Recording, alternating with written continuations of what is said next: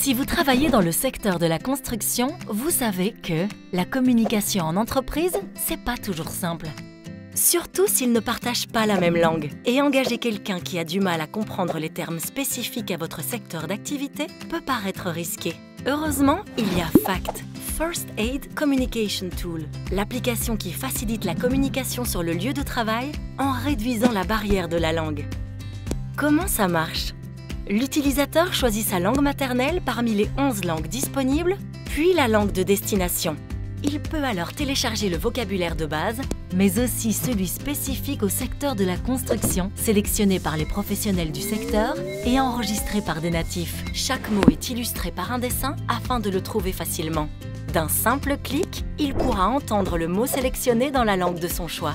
E un exemple concret un maçon doit rejointoyer un mur.